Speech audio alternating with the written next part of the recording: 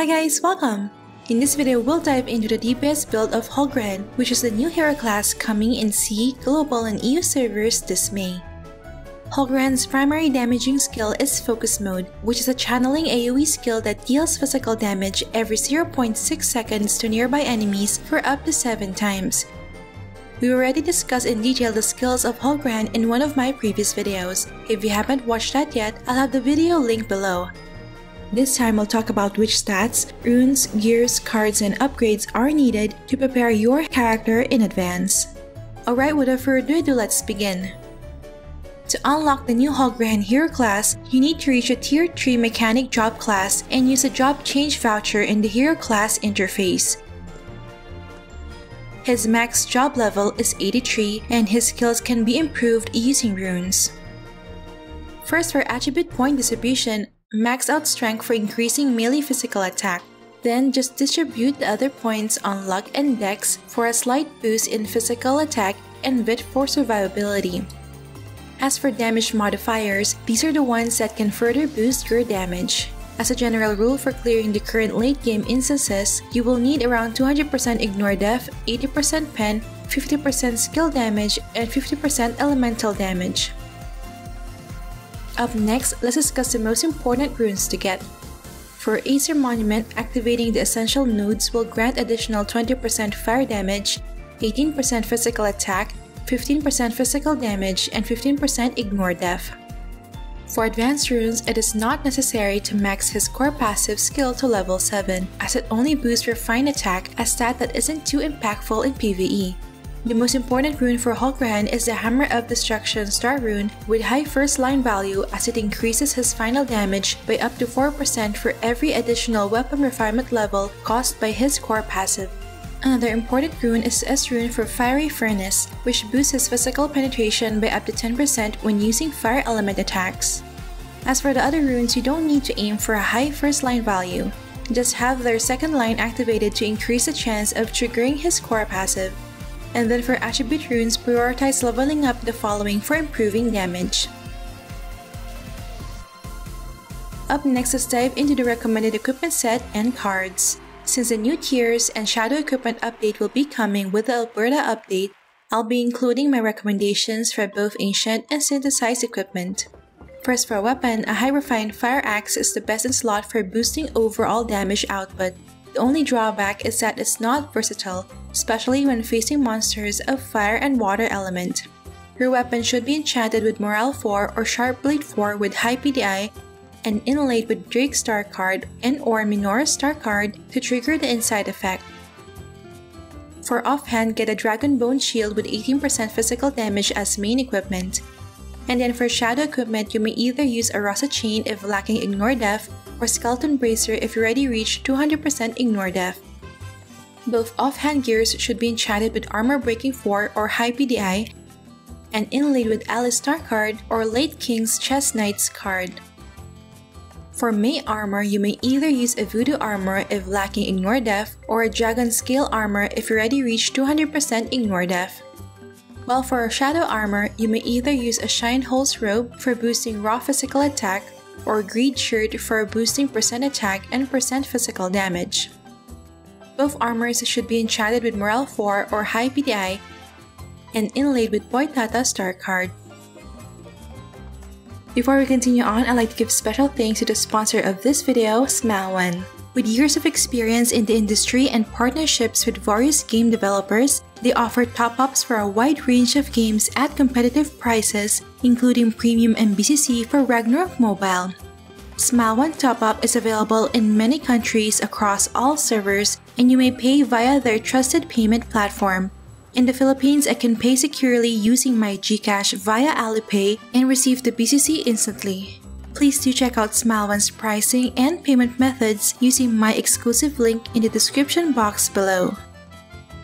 For Garment, the best in slot is Brave Warrior's Pauldron with 12% skill damage as main equipment and White Duke's Manteau as shadow equipment. Both garments should be enchanted with high PDI and inlaid with Zenobia card. For footgear, you may either use a Dragon Slayer War Boots with 6% pen or Overlord War Boots with 6% physical damage as main equipment. while for shadow equipment you may choose between Little Fairy slippers or St. Mary's cloth shoes.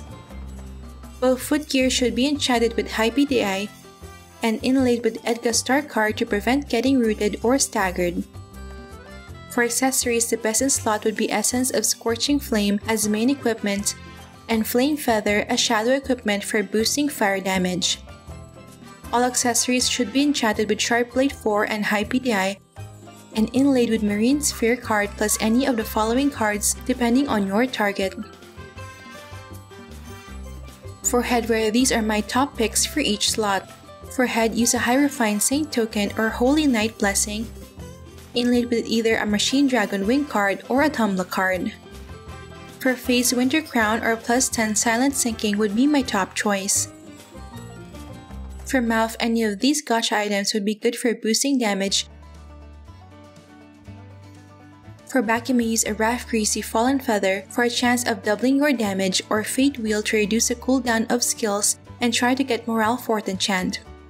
And for tail, get a beautiful ensemble or a high refined summer banana boat with sharp blade 4th enchant. And lastly, make sure to equip a card to boost luck, def, and mdef. Up next, here are the other upgrades that you can invest in to further boost your damage. For guild buffs, maxing out your blessings and prayers will grant additional raw physical attack, pen, ignore def, and fire damage. For Oracle Mirror Extract, the options are Combustible Knife for penetration, Bilgusarn for damage to MVP, Claw for percent attack, or Chieftain's Axe for ignore def. For ancient relics, there are several possible options such as choose depending on your playstyle and budget.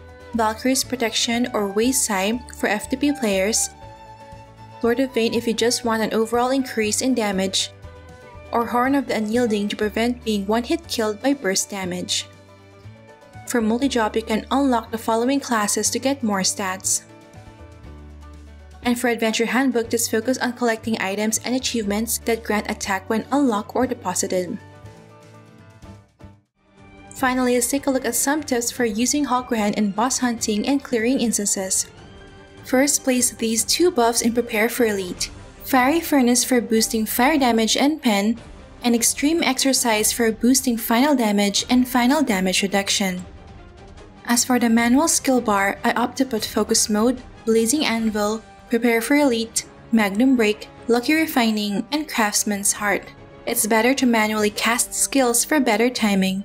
Don't forget to use the following consumables which can help boost your damage output. For survivability, you'll need a lot of Yggdrasil berries due to Hollgrehenn's slow sustain. You can also use the new Spike alloy to prevent dying.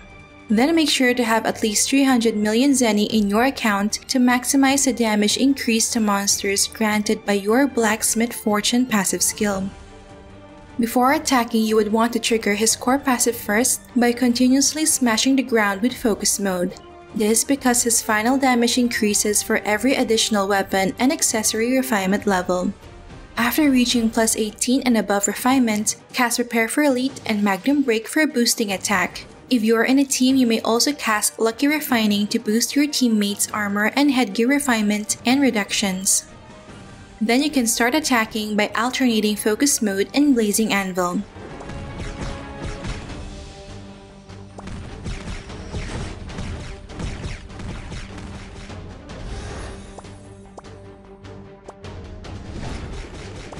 If you need to escape while focus mode is channeling, you can easily cancel it by riding your mount. When facing monsters that deal huge physical damage or can destroy or strip your equipment, cast Craftsman's Heart to protect yourself and one teammate. Make sure to recast your buffs every 30 seconds to maintain your damage.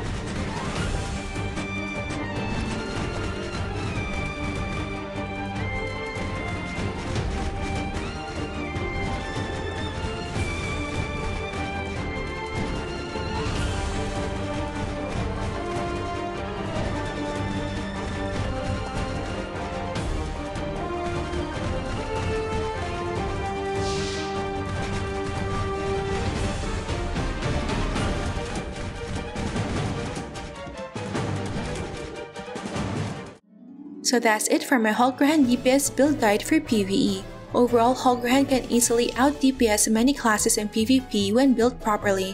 However, I don't think he will be able to outperform the meta classes due to his low damage frequency and low sustain. But even with these drawbacks, it's evident that Hollgrehenn has good potential in PvE.